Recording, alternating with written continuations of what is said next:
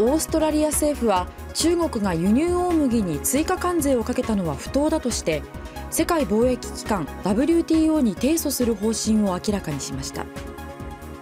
Australia has an incredibly strong case to mount in relation to defending the integrity and propriety of our grain growers and barley producers. オーストラリアのバーミンガム貿易省は16日